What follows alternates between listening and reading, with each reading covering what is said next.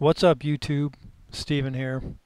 Wanted to do a quick tutorial on how to move multiple clips at the same time um, without having to actually highlight them. Um, as you notice, if you see my clip here, normally when you try to move a clip, um, see how it drags it and it kind of drags over the top of that second clip there. Well, if you want to drag them both, there's two ways to do this. Um, one, you can just highlight them both and do it like that. Or there's another way where you can, if you hover over this um, second icon here down on your toolbar, it says Track Select Forward Tool. That little arrow at the bottom right hand corner, click down and you want to do the track forward. Um, what you do is see how now your pointer has two pointers.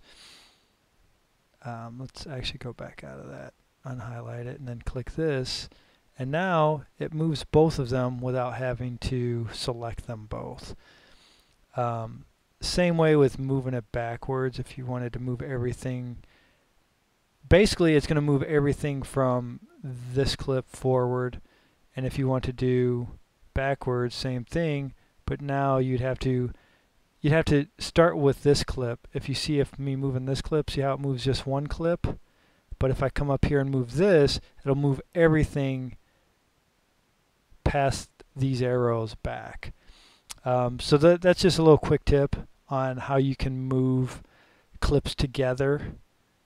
Um, sometimes it's easier to use this tool if you have a lot of different clips so you don't have to go through and select them all. Um, but it just depends on what your needs are. So uh, if this tutorial helped, give it a thumbs up.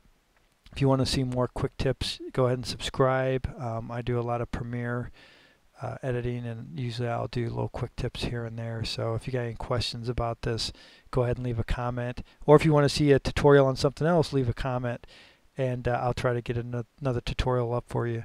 So uh, other than that, I'm out of here. Peace.